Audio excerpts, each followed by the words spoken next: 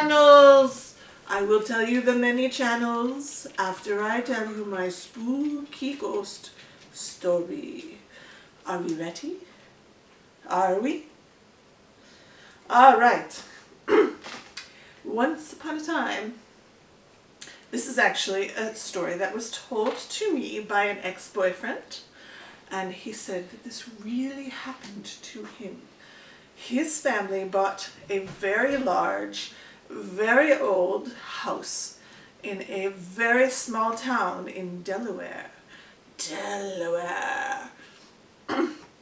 anyway, this house was from the 1820s.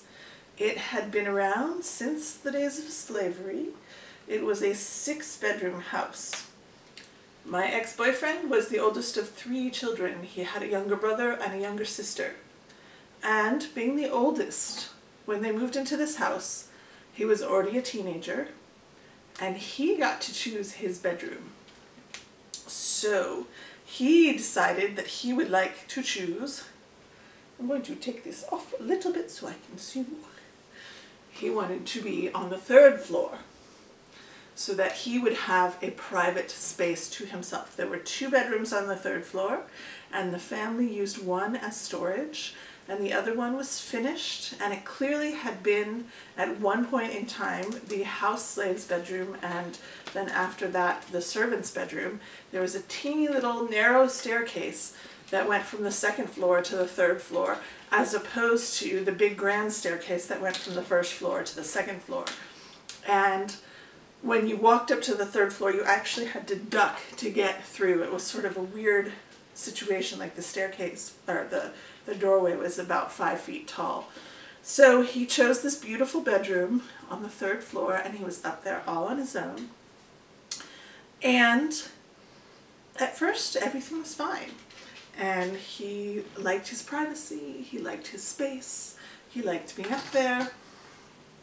And then there started being a few nights where he would hear weird noises. So he heard things like the other bedroom door open, close. He heard footsteps in the hallway. He asked his sister and brother the next day, what were you doing on the third floor? What, you shouldn't be up there in the middle of the night. We didn't go up there. What are you talking about? We never go up there. I swear I heard footsteps. So over time, things got a little stranger and a little stranger. He would hear footsteps. Every so often he heard what he thought was a woman whistling. And um, he had a fireplace, a very small fireplace, but he had a fireplace in his bedroom because almost every single bedroom in this house had fireplaces because that was the heating when the house was built. So he started at 5 a.m. He would hear something scratching in the fireplace. And at first he thought maybe there were mice. He told his parents about it. They had somebody come and look for rodents. Really quick. Speaking of creatures, our four-leggeds are making noise. There were no rodents in the house, believe it or not, in such an old house, and so he didn't know what it was. And in his fireplace, which nobody used anymore, there were some old logs. And one day he noticed that they had moved positions from one night to the other. Um, and he had heard that noise early in the morning. And so he decided to take the logs out of the fireplace. He cleared the fireplace, made it empty, put the old logs next to the fireplace. And then that night at 5 a.m. he heard something scratching, scratching. And he woke up in the morning and there were logs in the fireplace again. And at this point he started getting a little creeped out. He started feeling like the house was haunted. Now he'd never seen a ghost, nothing like that. And he wasn't sure he believed in them, but um, it was just a little too weird. And then there were, uh, as he was getting older, I think he was 18 or 19 when this happened, he went out with friends. This was back when the drinking age was 18. He came home one night at like 1 a.m. and he was a little drunk and he climbed up his stairs and as he's climbing the stairs and he ducks his head he said he lifted his head up and just at that moment he saw an image of a woman like kind of silvery shiny woman floating from his bedroom to the other bedroom and he said she had no legs and she was dressed like a servant from the 1800s like with one of those ruffly bonnets and a shawl, um, and it was just her upper body. And he saw her like float past, and he saw the door open and close. Now she didn't see him, but he was completely freaked out. He went into his room and he thought, I had one beer too many. And he went to bed. And in the morning he was like, it was all in my head.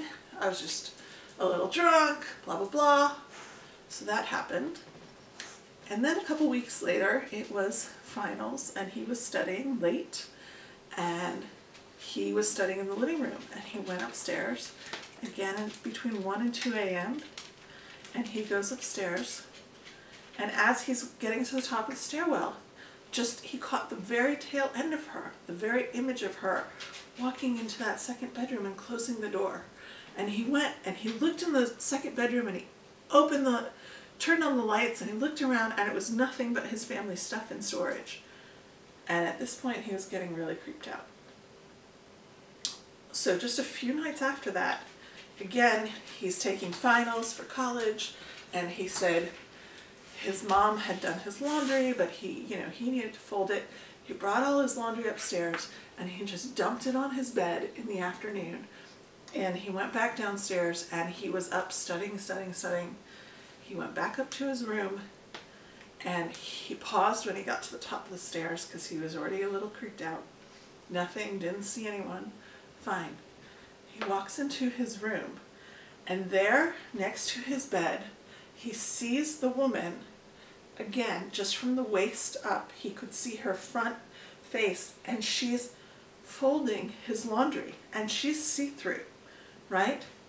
At that point, he watches her for a minute and then he goes, he made some kind of noise. He said he didn't scream, but it was like a gasp. And she looks up and she looks him in the face and she dissipates and disappears. And he is like, and it turns on the light and he looks and there are his clothes, two thirds of them folded. he went downstairs. He said he spent that night on the sofa in the living room. And the next day he asked every member of his family if anybody had been folding his clothes. Nobody had been folding his clothes. That day he moved his bedroom down to the second floor. He said, I don't, I guess she was the ghost of a servant or a slave and she was helping me. She was trying to set my fire in the morning. I don't know that she was out to get me, but you know what? I'm not sleeping in what might have been her bedroom. Ah. And so he moved downstairs. And after that, the whole family would hear noises on the third floor. But he never went up to the third floor ever again in the middle of the night. So that is my story. That is his story. As I remember it, I am retelling it some 30 years later. Make of it what you will and have a spooky and safe Halloween.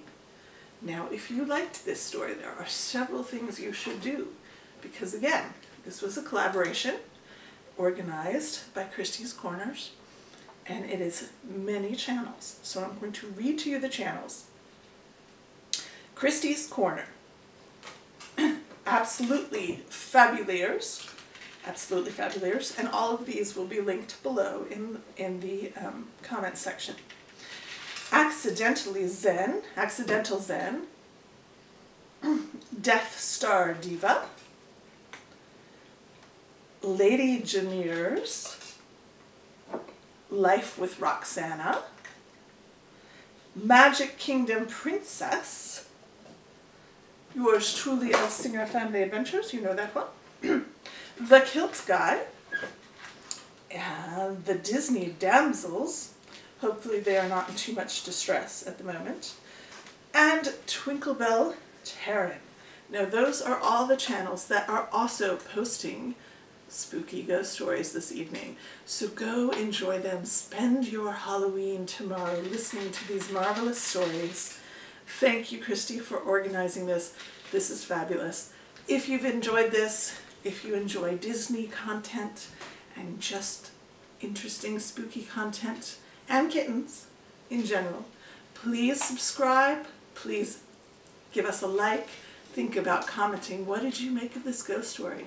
below and if you hit that bell notification you'll know exactly when we're posting videos because we do it two three times a week not on a super regular schedule.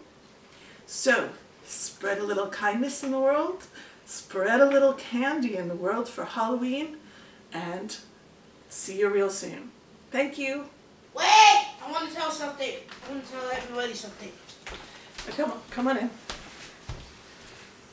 Um this is Rafi. He has something to tell you. I want to tell a scary story next in our next video. But it's a lot scarier than yours because I've seen it so many times and it's not scary. Do you want to try telling it now? I guess. Um, Biscuit, can you stop making noise, please? Um, so, um, if you if any kids are watching this, I'm like a giant fan of trains. I don't know why I've been like this since I was like one one through ten because I'm ten years old now. But this is the story I that someone had made, and I. That's our cat knocking things down. And um, a story that one of my friends had made. It's called the Untold Story of Timothy. The Untold Story of Timothy? Mm. Okay, go ahead. It's going to be kind of short. Um, so basically, this engine named Timothy, he was a basic. He was a white engine with the number zero on his side. He looks a lot like Thomas, but um, painted white, and it had like this, like wrinkles all over his face. It's Thomas the Tank Engine. Go on. Oh, well, it's not. That's his I mean, brother. he looks like Thomas the Tank Engine. He yeah. does, but Tennessee is also Thomas's brother, so. Okay. And um, he leaves the station after the guard blows its whistle, and then he just puffs along like a normal steam engine would do. What he didn't know is that what the viaduct. You guys don't. If you guys don't know what a viaduct is, I'm. I actually have no idea either. But anyway. but um, he was coming up to a viaduct, and he didn't know that it was, that it was under repair and um it's like a it's like a gate that opens yeah, and closes. Yeah oh. but it's like track it's like a bridge. Right right. It's it's somewhere where there's water and it's yeah. on a canal. Yeah and then all of a sudden timothy starts to go a lot faster and he reaches about um 120 miles per hour. His driver keeps on saying timothy timothy slow down or you're gonna crash. All of a sudden his eyes start his eyes turn red blood comes out of them. His his nose is bleeding, and then blood also comes out of his mouth. And he says, um, "I will send you all to the scrapyard." and then scrapyard. And then after that, he ju- he falls off the viaduct and dies. And um, that is not a happy Thomas the Train story.